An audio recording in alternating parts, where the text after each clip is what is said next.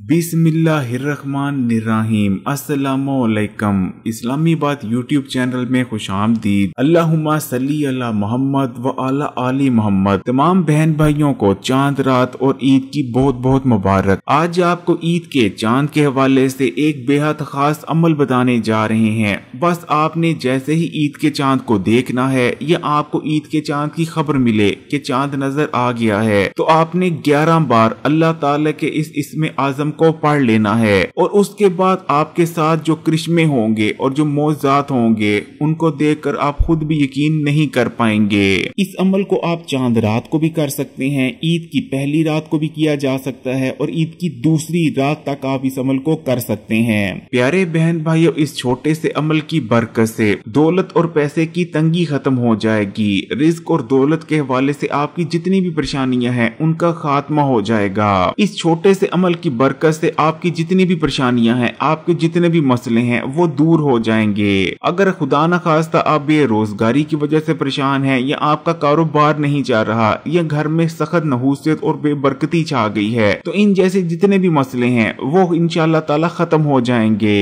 आपके घर में रिस्क दौलत और पैसा आने लगेगा, बरकत ही बरकत हो जाएगी। जिस काम में हाथ डालेंगे, कामयाबी आपका मुकद्दर बन जाएगी। जो दुआ करेंगे इनशाला ताला, अल्लाह ताला आपकी हर दुआ को कबूल कर लेंगे। इसी तरह आपकी अगर कोई ऐसी हाजत है जो आज के दिन तक पूरी नहीं हुई तो बस इस छोटे से अमल को कर लेने के बाद अल्लाह ताला से दुआ कर लें। इन ताला आपकी वो हाजत ईद का दिन खत्म होने से पहले पहले पूरी हो जाएगी। अगर खुदा न खास्ता आप अपनी लापरवाही के चलते रमज़ान के महीने को जाया कर चुके हैं तो खुदा का वास्ता है इस मौके को जाया मत जाने दें। जैसे ही आपको चाँद नज़र आ जाए या चाँद नज़र आने की खबर खबर मिले, आपने खुले आसमान के नीचे जाकर अल्लाह ताला के इस इसमें आज़म को ग्यारह बार खुले आसमान के नीचे खड़ा होकर पढ़ लेना है। उसके बाद अपनी तकदीर और किस्मत को बदलते आप खुद अपनी आँखों से देखेंगे। चाँद रात बहुत बरकत वाली रात है, ये फजीलत और खुशियों वाली रात है, दुआओं की कबूलियत वाली रात है। प्यारे बहन भाइयों, आजकल जिस तरीके से हमारे यहाँ चाँद रात को मनाया जाता है, पहले ऐसा नहीं हुआ करता था, बल्कि पहले बुज़ुर्ग तो चाँद रात को बिल्कुल बिल्कुल और तरीके से मनाया करते थे। एक दूसरे के घर खाने भेजे जाते थे और दुआएँ की जाती थी, क्योंकि ये खास दुआओं की कबूलियत वाली रात है। बाबा फरीद गंज शक्कर रहमत का चाँद रात को ममूल हुआ करता था कि जब तक गाँव वाले ईद का चाँद देख रहे होते थे, लेकिन अभी तक चाँद नज़र नहीं आया होता था। तो आप बहुत गमगीन बैठे रहते थे। आप इस चीज़ का दुख मना रहे होते थे कि रमज़ान का बहुत ही फजीलत और बरकत वाला महीना हमसे बस बिछड़ ही चला है। लेकिन जैसे ही ईद का चाँद नज़र आ जाया करता था तो ये खबर सुनकर आप बहुत ज़्यादा खुश हुआ करते थे और अरशाद फरमाया करते थे कि ईद का चाँद देखकर खुशी मनाना और खुश होना नबी करीम सल्लल्लाहु अलैहि वसल्लम की सुन्नत मुबारक है। उसके बाद आप बच्चों में बतासे और फुलियाँ वगैरह तकसीम किया करते थे। बाबा फरीद का कहना था कि चाँद रात को किसी को कुछ खिलाना घर में, रिस्क में, दौलत में बरकत लेकर आता है। लेकिन अफसोस से कहना पड़ता है कि आजकल जिस तरीके से हम चाँद रात को मनाते हैं, हम सिर्फ़ चाँद रात को तफरी के तौर पर देखते हैं, लेकिन ये कितनी बरकत, फजीलत और दुआओं की कबूलियत वाली रात है, इस चीज़ का हमें किसी कदर कोई ख्याल नहीं रहता।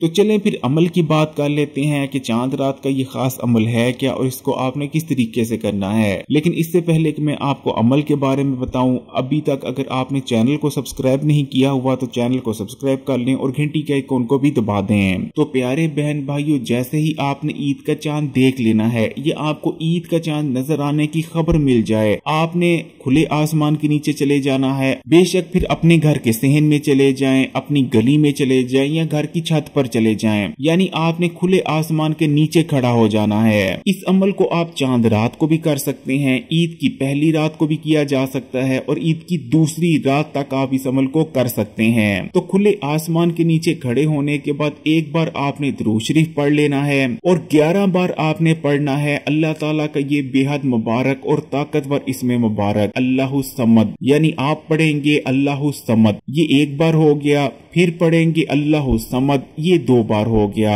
इस तरह करते हुए आपने ग्यारह बार अल्लाह समद को पढ़ लेना है। अल्लाह समद अल्लाह का सफाती नाम है, जिसका मतलब है अल्लाह बेनियाज है। यानी अल्लाह ताला गनी है। अल्लाह ताला के खजानों में किसी चीज़ की कमी नहीं। अल्लाह किसी का मोहताज नहीं। लेकिन सब अल्लाह के मोहताज हैं। अल्लाह समद अल्लाह का बेहद बरकत और ताकत वाला इसम मुबारक है। जो भी शख्स अल्लाह ताला के इस इसम मुबारक को अपनी ज़िंदगी में शामिल कर लेता है तो अल्लाह ताला उसको भी गनी और बेनियाज बना देते हैं। उस शख्स के पास फिर किसी चीज़ की कमी नहीं रहती, ना तो दौलत की, ना ही रिस्क की। वो जितना रिस्क चाहता है, अल्लाह ताला उससे कहीं ज़्यादा रिस्क उसको अता फरमा देते हैं। ना सिर्फ़ अल्लाह समझ पढ़ने से रिस्क और दौलत के हवाले से जितनी परेशानी और मसले हैं, खत्म हो जाते हैं, बल्कि आपकी ज़िंदगी में खुशियाँ आ जाती हैं। जितनी भी परेशानियाँ, जितनी भी बेबरकतियाँ होती हैं, जितनी भी अचानक आने वाले मसले और परेशानियाँ होती हैं, आप उन तमाम से भी महफूज रहते हैं। तो ग्यारह बार अल्लाह समझ पढ़ लेने के बाद आपने अल्लाह ताला से दुआ करनी है। आपकी जो भी हाजत है, आपने अल्लाह ताला से वो मांग लेनी है। अगर आपको दौलत चाहिए, दौलत मांगे। जितनी भी दौलत चाहिए, उतनी दौलत मांग लें। दस लाख चाहिए, दस लाख मांगे। दस करोड़ चाहिए दस करोड़ मांग लें। यहाँ तक कि अगर आप अल्लाह ताला पर पूरा तवक्ल और यकीन रखते हुए दस अरब भी मांग लेंगे।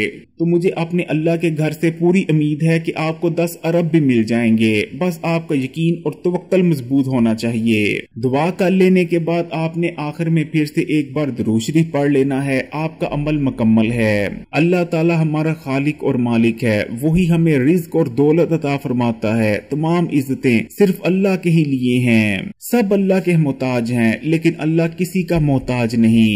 दोस्तों और प्यारे बहन भाइयों, अल्लाह ताला का ये इसम मुबारक एक ऐसा ज़रिया है, जिस ज़रिए से आप अपनी तमाम परेशानियाँ, तमाम मसलों को हल करवा सकते हैं। और आपको जितनी भी दौलत चाहिए, जितना भी रिस्क चाहिए, या जो कुछ भी अल्लाह के खजानों से चाहिए, आप इस इसम मुबारक के ज़रिए अल्लाह ताला से वो तमाम चीज़ें मांग सकते हैं, वो तमाम चीज़ें अपनी ज़िंदगी में हासिल कर सकते हैं। चाँद रात के हवाले से आपको एक और बहुत बरकत और फजीलत वाला अमल बताता चलता हूँ। खासकर ये अमल उन बहन भाइयों के लिए है, जो ये शिकायत करते नज़र आते हैं कि उनकी दौलत में, उनके पैसे में बरकत नहीं है। जितना मर्ज़ी पैसा आ जाए, किसी न किसी मसले की नज़र हो जाता है, पैसा उनके घर में ठहरता नहीं। तो ऐसे बहन भाइयों को चाहिए कि चाँद रात को गरीब लोगों में मीठी खाने पीने की चीज़ें तकसीम करें, जैसे कि मीठी गोलियाँ तकसीम की जा सकती हैं, मिठाई तकसीम की जा सकती है। इसी तरह किसी भी किस्म का मीठा तकसीम किया जा सकता है, जैसे कि मीठे चावल तकसीम किए जा सकते हैं। बाबा फरीद गंशकर रहमत का कहना था कि चाँद रात को बच्चों और गरीबों में मीठी अशिया या मिठाई का तकसीम करना बहुत ही बरकत वाला अमल है। इससे दौलत में, पैसे में और रिस्क में बरकत पड़ती है और घर से बेबरकती का खात्मा हो जाता है।